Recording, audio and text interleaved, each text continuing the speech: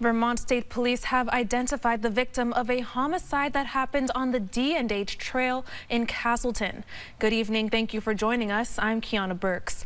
Police say the deceased was 77-year-old Honoree Fleming.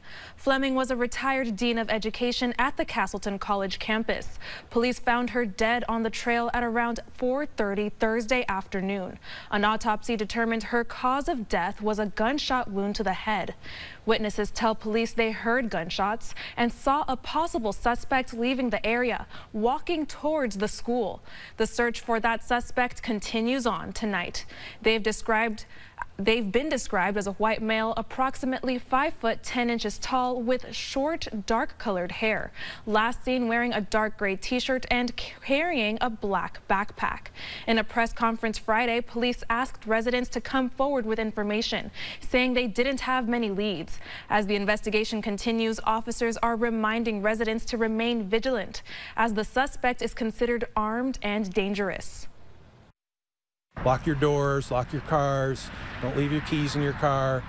Um, you know, don't wander around at night. You know, wander in pairs. If you're going to be out, be with a friend. We have no idea where this gentleman suspect took off. We don't have anything right now.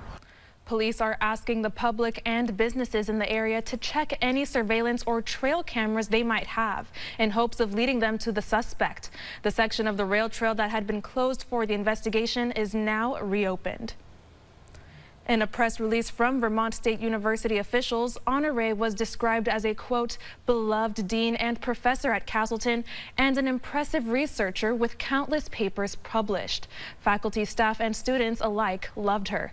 They say Honoree was a true member of the Castleton family.